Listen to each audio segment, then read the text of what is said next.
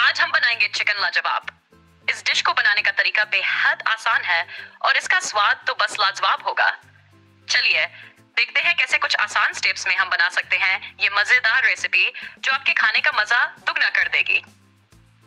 सबसे पहले एक पैन में तेल गरम करें। पहले हम कटे हुए आलू को अच्छे से पाँच मिनट के लिए फ्राई कर लेंगे ताकि वह थोड़ा पक जाए। जब तेल गर्म हो जाए, तब उसमें जीरा और कुछ खड़े मसाले, जैसे तेज पत्ता, इलायची और दालचीनी डालें। जैसे ही ये मसाले तड़कने लगे और अपनी खुशबू फैलाने लगे, उसमें प्याज डालें। प्याज को धीमी आँच पर सुनहरा होने तक भूनें। और अब इसमें टू टेबल स्पून अदरक लहसुन का पेस्ट डालें। इस समय आपकी रसोई में एक अद्भुत खुशबू फैलने लगेगी, जो आपके और आपके परिवार के दिलों में गर्माहट लाएगी। अब कटे हुए टमाटर डालें। साथ ही हल्दी लाल मिर्च पाउडर और नमक भी मिलाएँ। जैसे ही आप इन मसालों को टमाटर के साथ भूनेंगे, आपको उनके रंग में बदलाव देखने को मिलेगा और टमाटर एकदम नरम हो जाएँगे।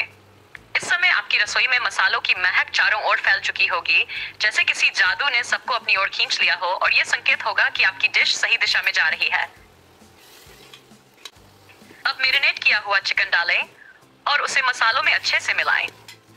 धीमी आँच पर ढककर इसे पकने दें। लगेगा तो मसालों की खुशबू उसमें समाने लगेगी और हर निवाले में स्वाद का जादू बिखेरने लगेगा।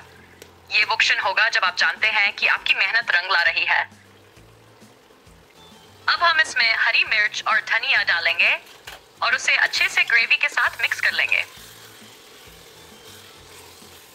आखिर में हाफ़ लीटर पानी मिलाकर मिक्स कर लेंगे और तीन विसल लेने के बाद आपका चिकन लाजवाब तैयार है। इसे गर्मा गर्म रोटी, नान या चावल के साथ परोसें और इस स्वादिष्ट डिश का आनंद लें। आपके परिवार और दोस्तों को ये डिश ज़रूर पसंद आएगी।